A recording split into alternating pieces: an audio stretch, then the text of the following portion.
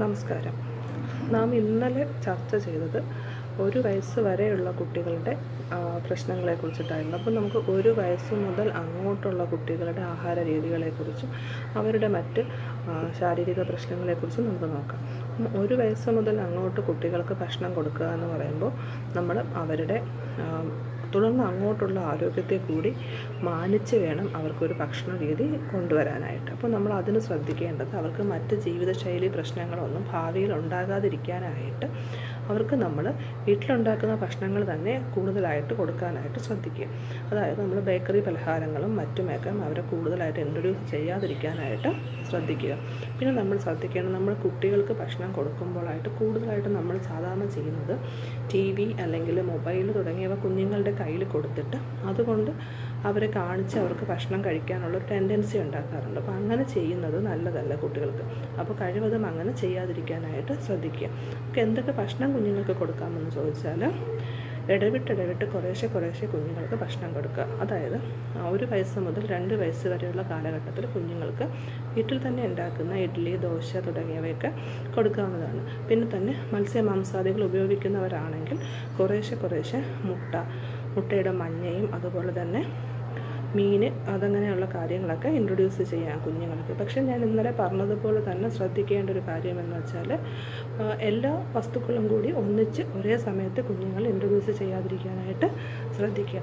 പിന്നെ ഫ്രൂട്ട്സ് അതുപോലെ തന്നെ വെജിറ്റബിൾസ് എല്ലാം തന്നെ കുഞ്ഞുങ്ങൾക്ക് കൊടുക്കാം. നമ്മളെ വീട്ടിൽ ഉണ്ടാക്കുന്ന ഭക്ഷ്യവസ്തുക്കൾ വീട്ടിൽ കഴിക്കുന്നതിനോടൊപ്പം തന്നെ അവരെയും വീട്ടിലൊരാളായി കണക്കാക്കിക്കൊണ്ട് നമ്മൾ ഭക്ഷണം അവർക്കും കൂടി കരുതുക അവർക്കും കൂടി കൊടുക്കുക. നമ്മൾ ഇടയ്ക്കിടയ്ക്ക് കുട്ടികൾക്ക് സ്നാക്സ് കഴിക്കുന്ന ഒരു ശീലം ഉണ്ടാകാറുണ്ട് അപ്പോൾ ആ സമയത്ത് കുഞ്ഞുങ്ങൾക്ക് കൂടുതലായിട്ട് ഫ്രഷ് ഫ്രൂട്ട്സോ അല്ലെങ്കിൽ അങ്ങനെയുള്ള റോ വെജിറ്റബിൾസോ ഒക്കെ കഴിക്കാനുള്ള ശീലം നമുക്ക് ഈ കാലഘട്ടത്തിൽ നെയ്തെടുക്കാൻ സാധിച്ചാൽ വളരെ നല്ലതായിരിക്കും. നമ്മൾ നേരത്തെ പറഞ്ഞതുപോലെ തന്നെ കുട്ടികൾ ഏറ്റവും കൂടുതൽ ഇഷ്ടപ്പെടുന്നത് കളേഴ്സിനെയാണ്. അപ്പോൾ കളർഫുൾ ആയിട്ടുള്ള വെജിറ്റബിൾസ് നമുക്കറിയാം അല്ലേ?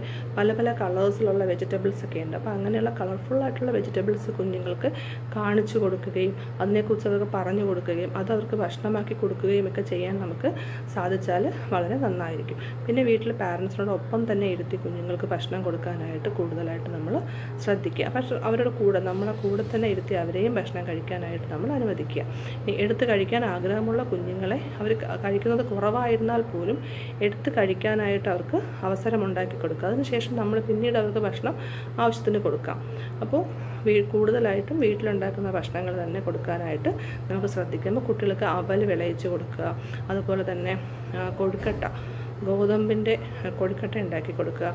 റാഗി വെച്ചിട്ട് കൊഴുക്കട്ട ഉണ്ടാക്കി കൊടുക്കാം റാഗി വെച്ചിട്ട് റാഗി കുറുക്ക ഉണ്ടാക്കുമ്പോൾ അതിനെ കുറച്ചുകൂടെ തിക്കായിട്ട് ഉണ്ടാക്കിയാൽ അതൊരു ഒരു നല്ലൊരു സ്വീറ്റായിട്ട് വരും. അതിൽ കുറച്ച് നെയ്യൊക്കെ ഒഴിച്ചെടുക്കുകയാണെങ്കിൽ അത് സ്വീറ്റായിട്ട് വരും. അപ്പോൾ അങ്ങനെയുള്ള ഹെൽത്തി ആയിട്ടുള്ള ഭക്ഷണങ്ങൾ കുഞ്ഞിന് ശീലിക്കാം. പിന്നെ ഫ്രൂട്ട് ജ്യൂസസ് കുഞ്ഞുങ്ങൾക്ക് കൊടുക്കാം. ഫ്രൂട്ടിന് അധികം മധുരം ചേർക്കാതെ തന്നെ നമുക്ക് എക്സ്ട്രാക്ട്സ് ആയിട്ട് കൊടുക്കാം. പിന്നെ അതുപോലെ തന്നെ ഒത്തിരി ഓയിലി ഫുഡ്സ് അല്ലാതെ നമുക്ക് വീട്ടിൽ തന്നെ ഉണ്ടാക്കി കൊടുക്കാവുന്ന പലഹാരങ്ങൾ. അതായത് അമിതമായ എണ്ണ പലഹാരങ്ങളല്ലാത്ത പലഹാരങ്ങൾ വീട്ടിൽ തന്നെ നമുക്ക് ഉണ്ടാക്കി കൊടുക്കാം. പിന്നെ കുട്ടികളെ കൂടുതലായിട്ട് അവർക്ക് ശരീരത്തിന് ദോഷമുണ്ടാക്കുന്ന ഭക്ഷണങ്ങളിലോട്ട് പോകാതിരിക്കുക. അതായത് നമ്മൾ ഇന്നത്തെ കാലഘട്ടത്തിൽ ഒരുപാട് കണ്ടുവരുന്ന അല്ലെങ്കിൽ ഒരുപാട് അനുഭവിക്കുന്ന ഒരു കാര്യമാണ് കുട്ടികളിലെ പോഷക ദാരിദ്ര്യം എന്ന് പറയുന്നത്. പണ്ട് കാലങ്ങളിൽ പോഷക ദാരിദ്ര്യം എന്ന് പറയുന്നത് പോഷക അപര്യാപ്തത ആയിരുന്നു എങ്കിൽ ഇന്ന് അധികത്വമാണ്. അതായത് പോഷകങ്ങളുടെ അധികത്വം. ആ ഒബിസിറ്റി സ്ഥലത്തേക്ക് പല കുട്ടികളും ശരി ആവശ്യത്തിന് നമുക്ക് വളർച്ചയ്ക്ക് അധികമായിട്ടുള്ള ഭാരവും അത് ഭാരമായിട്ട് കുഞ്ഞുങ്ങൾ മാറുന്നുണ്ട്. അപ്പോൾ അങ്ങനെ സംഭവിക്കാതിരിക്കാനായിട്ട് നമ്മൾ ഈ കുഞ്ഞിലെ തന്നെ അവരെ മോൾഡ് ചെയ്ത് കൊണ്ടുവരിക. അതുപോലെ തന്നെ കുട്ടികളെ കളിക്കാൻ അനുവദിക്കുക.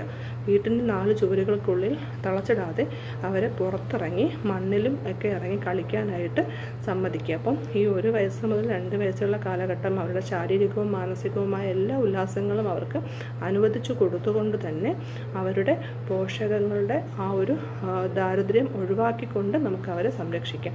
അടുത്ത കാലഘട്ടം എന്ന് പറയുന്നത് രണ്ട് കഴിഞ്ഞാൽ മൂന്ന് വയസ്സ് മുതൽ അങ്ങോട്ടുള്ള കാലഘട്ടം കുറച്ചും കൂടി നമുക്ക് ബുദ്ധിമുട്ടുള്ള കാലഘട്ടമാണ് കുട്ടികൾക്ക് ഭക്ഷണം കൊടുക്കുക എന്നുള്ളത്. അപ്പോൾ ആ കാലഘട്ടത്തിൽ നമുക്ക് എന്തൊക്കെ ചെയ്യണമെന്ന് നമുക്ക് നാളെ സംസാരിക്കാം. ഓക്കെ?